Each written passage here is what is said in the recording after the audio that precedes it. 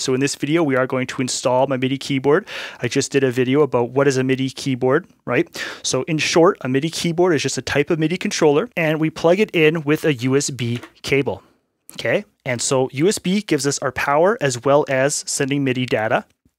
So again, a MIDI keyboard has no sounds in it. So if we press a key by itself, it, there's nothing happening. But it triggers a note inside of our music program. So when we open up FL Studio, it triggers a note allowing us to play our virtual instruments or whatever sounds we have loaded up. So again, for myself, again, I have tried quite a few MIDI keyboards over my years, and I always look for a 49 key MIDI keyboard. So 49 keys, semi-weighted. That means that when you push the keys, they just feel a little bit better making sure to have the transport buttons like this. So we have play, stop, record, forward a bar, back a bar, and the loop button for FL Studio, okay?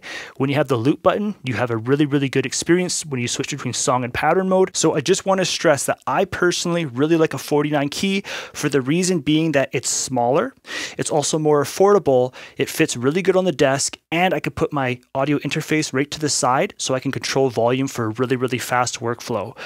A lot of newer producers think the 61 key because they're going to have more keys to play. It's going to make them a better producer.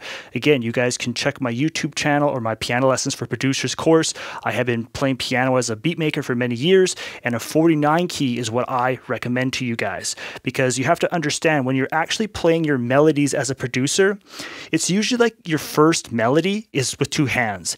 And then a lot of your stuff is really just with one hand afterwards. So it's not like you need tons of keys. Um, um, and then again, you have your octave buttons to go up and down uh, your, you know, for more keys. So I'm telling you, gives a phenomenal experience. The only tricky thing with the 49 key is finding the semi-weighted keys in that model. So again, I'm just going to install this M Audio Oxygen Pro with a USB cable right here. So I'll just clear off this little uh, compartment here. And then again, I already have my USB cable ready to go. Okay, so installation is really, really simple. Uh, usually best practice is going onto their website, whatever product, you know, whatever manufacturer, install the driver first, then you plug it in, turn it on, and you should be good to go. All right, so I'm going to be installing two cables actually in this MIDI keyboard. So I have my pedal, okay, and then I have a USB cable. So the USB cable is the power as well as uh, MIDI data. And then uh, this is just a pedal for the MIDI keyboard for that sustain. And again, I don't use it when I'm actually recording because it makes it really, really annoying for recording. I use this for practicing. So when we play our notes and let go, it could be really, really short sounding.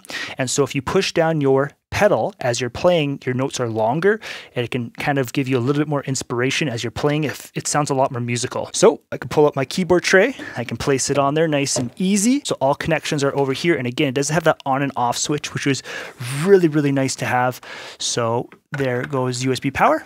And then this only has the one port. So sometimes you have a sustain, sometimes you also have the expression pedal. Uh, so there you go. So that's it. Really, really simple to set up, right? Now, the biggest thing for me for this cable is I just want to make it so when it pulls out, so you can see there's some tension. So I'll have to go back in behind and just kind of give that a little bit more um, slack so that I can pull this out further. And once I do that, good to go. I think the studio will be back up and running. So uh, studio is a little bit messy right now because just doing all these dif different videos and getting set up. Uh, but wow, I'm very, very excited to finally just make beats myself and then get back into training. So again, you guys can visit me over at itsgratuitous.com. This was, I think, the last video. I'll probably just do one more wrap up video about everything we've learned so far. If you've been following along, I hope you have enjoyed. I hope you learned a lot. I hope you learned about you know how to save money how to be careful when it comes to different brands. Because again if you're going to recommend a brand um, brands change over time. So it's not like for example m audio um, for the most part they've always done me good um, i had an audio interface it was not good but the speakers i used to have which i wish i didn't sell because again it's really good for training if i would have kept my equipment it's good for training as well as because my audio interface is able to do two banks of speakers I would have had this and my five inch speakers to switch between. I wouldn't even have needed this, this little mono speaker.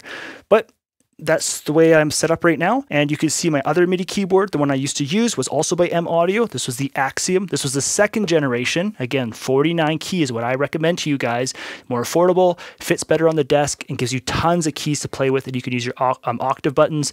Again, the only thing that was failing with this was the octave buttons. Otherwise, I don't think I would have purchased a new MIDI keyboard. All right, so that is how you set up a MIDI keyboard just a USB cable plugs into the computer.